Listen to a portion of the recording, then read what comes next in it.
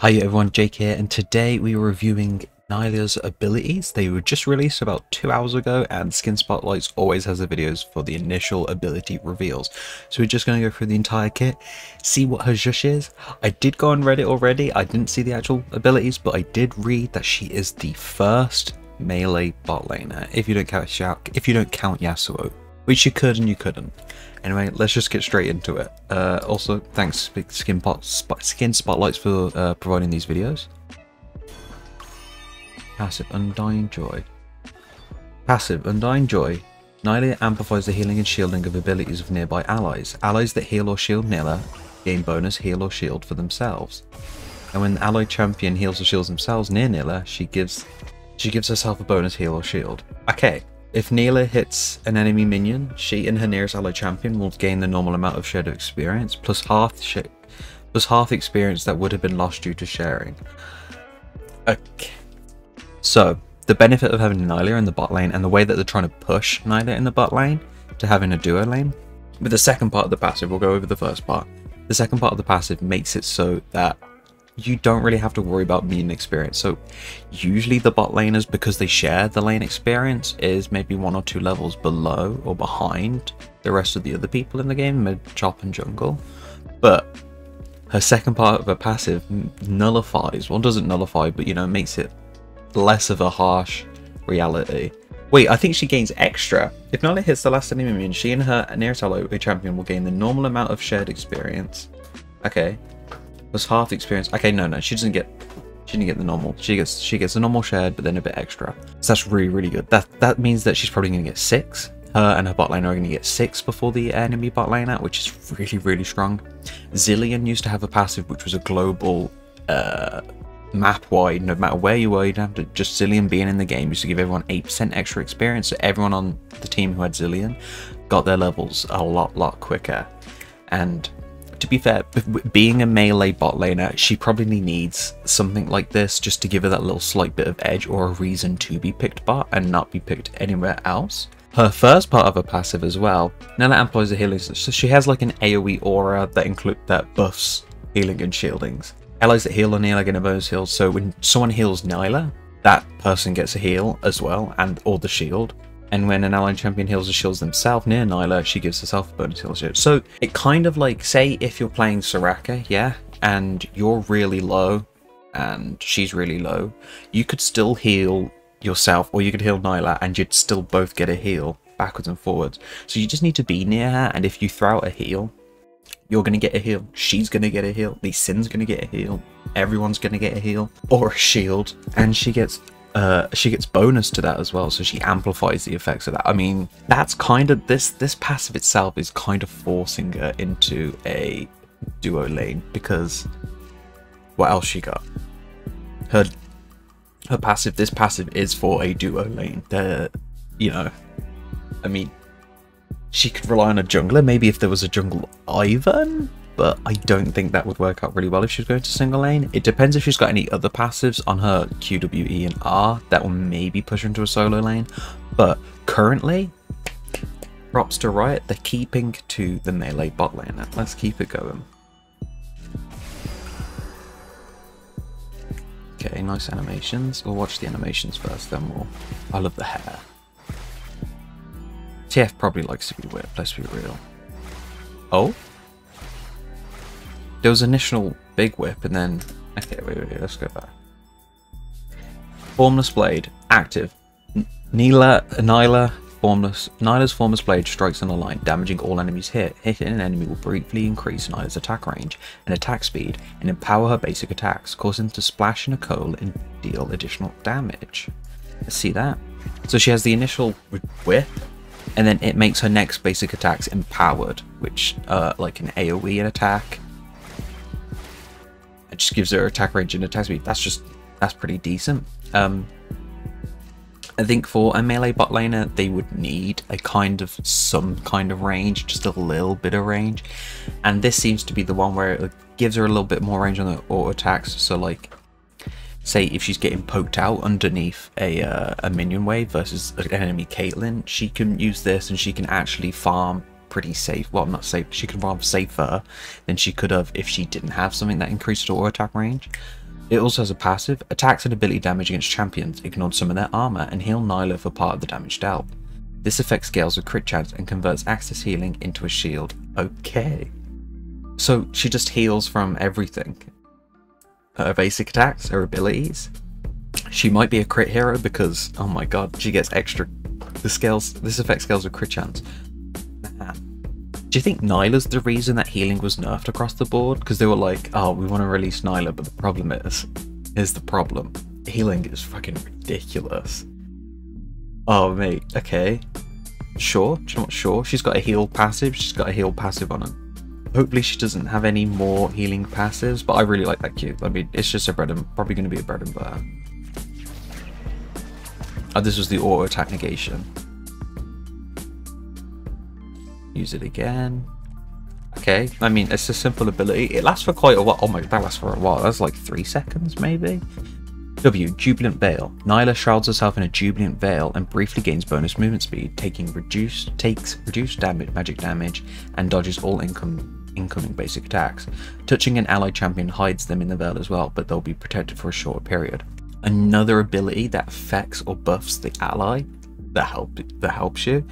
So say if you're in a 1v2 and um, you've got a Braum support, you engage with her E and Braum will jump to you with your E and you use your W and you'll both get a uh, reduced magic damage and dodging all income base, basic income attacks. So it's kind of like a Jax E, which is the, the circle, can't remember does, but it doesn't stun, but it does give it to someone else, which is a very strong ability. That is so, so, so strong. Again, keeping her alive against ranged. I think a lot of her kit to be a melee bot laner has to be negating range carries or at least keeping herself alive. So I think that's why she's got a lot of healing in her kit as well, because she in lane she's just going to be poke, poke, poke, poke. Because in realistically, how is this woman going to deal with um, Caitlyn? Like she's going to be up the turret all the time. She's going to have to heal herself, but she's got basic attack negation, which can also affect their allies. Heals and shields, more heals and shields. Uh, let's see what the E. I'm guessing E is going to be a dash or a jump or something. Yeah, what else? Oh my god, it's a double one. I think it does... Oh, it must have power the basic attacks. Okay, E, Slipstream. Uh, Slipstream lets Nilah dash through target unit, traveling a fixed distance every time and damaging all enemies she passes through. She can start, store up to two charges at once. Okay, um, it'll be interesting to see if she can like go over walls. But having two charges is really good because then you can like choose and you want to, you know, you want to do it. Kind of like reminds me of the older Carly, which used to have like a, a charge and you used to have to wait if you wanted to do it. That was a really fun ability. I did like older Kali. Um, cast Formless Blade during Slipstream to pull a wave in your path, dealing damage after a quick delay and granting Formless Blade's enhanced basic attack. Okay, so that's her Q, Formless Blade. So I'm guessing once you do this initial, this initial slap, if you pressing E whilst you do the initial slap, like, like, give it a sec, like this, then you get a little wave that does damage and you still get your basic attack. Okay, I like that. Two abilities that synergize well with each other. Having a dash is just always good. And honestly, I don't think this champion would survive bot lane if it did not have a dash. Uh, that's the only reason I think Yasuo can work bot lane is because he's got that the E and he's got his wind wall that helps him out pretty well. This is quite similar to Yasuo in the sense that it's a Q that's a enhanced basic attack that can happen a W, which is a negation of basic attacks, and then an E, which is a dash. Let's see what the ultimate is. When we did look at the ultimate last time, in the trailer, it looked like Diana's ultimate, so I'd be interested to see what this is. Okay, that did just look like a Diana ultimate. So she pulls, she does like a little effect first, slowing and then pulling. Ah, Apotheosis. Nilah unleashes a surge of power, lashes her whip in an area around her, and with a final burst pulls enemies in towards the center. Apotheosis heals Nilah for part of the damage dealt, converting any access into healing into a shield. This effect scales with crit chance and is granted to all nearby allies. So her passive can give allies a shield. A W can give allies a shield, which is basically a negation, like a damage reduction and a basic attack negation her R can give everyone a shield. She's gonna be, I think she's gonna be strong, especially like so, say Sona for example. Sona has a shield and a heal on her W. So like, is it giving her a double? Is she getting like a double double trouble? That sounds really really strong. So she can also buff and keep her allies alive because um, every time Nalia heals as well. Nalia Narlia champion should nearby abilities, allies that heal, and then when an allied champion heals or shields himself near Narlia, she gives herself bonus to heal really, really good. She's an amplified. She she just amplifies. I mean, all shields got nerfed across the board in the durability update, but she's just going to be amplifying. I kind of dig it. And the the ult the ult's nothing special, but it is going to be a really good engage, and especially with these two E's when you use your E. And you can do two charges, so you can get quite a lot of distance, I'm guessing. But you have to be careful because it has to be a targeted unit, so you have to dash through someone. But let, let me see, do you dash behind them after you use it, or you end up in front of them?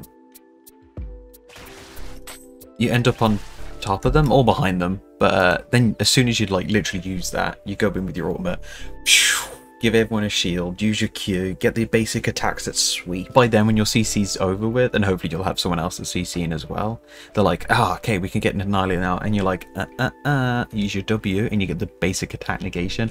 All whilst you're serving out shields and heals to literally everyone else because of your Q giving everything a shield. I mean, giving everyone a heal, increasing with attack damage.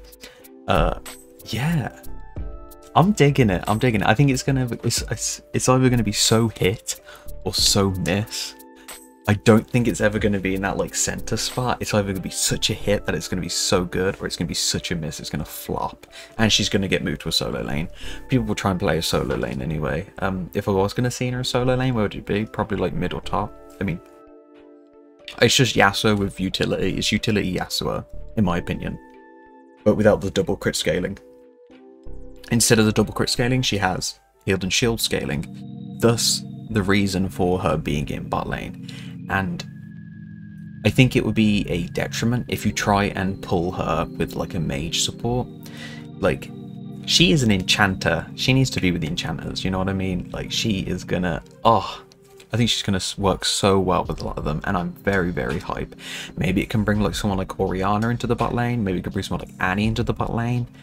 Because if she's going to heal and shield, and Annie, Annie and Orianna both have an E, which shields people. Um, I don't know. I think it could come up for some wacky comps. We'll just have to see. But it is very, very interesting. Her splash arts are here, so let's see what she's got. Oh, and she's got like a bloody storm dragon in the background. That is beautiful. Let me just print screen. And she's the Star Guardian. And she's got a little puppa. She's got a little puppa. Oh, look how cute he is. Okay. That is adorable. Uh, thank you, Skin Spotlight, for this, by the way. Um, yeah, I mean, I'm just gonna take a print screen for my thumbnail. There we go. Um, very hype. Having a Star Guardian skin as your first skin is going to immediately bump your play rate up regardless if you're bad or good because Star Guardian is probably one of the popular skin lines of all time other than maybe KDA.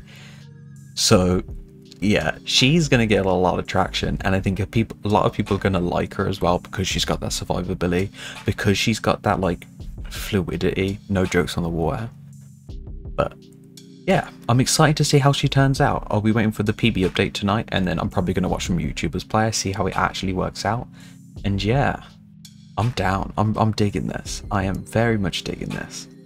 I really, I didn't think her passive would be like that, but Fuck yeah. Extra experience. Healed and shielding. Oh, so good. Oh.